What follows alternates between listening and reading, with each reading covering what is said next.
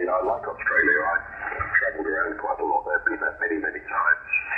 I always thought that I'd like to live in the Adelaide area, but I, I think I'd probably upgrade that to Tasmania as well, mostly on a climatic basis. I think I, the steaming, blisteringly hot temperatures during the summer, I think I'd, I'd find difficult to deal with. I'd be cowering in, in air-conditioned areas. Uh, topic in air conditioning.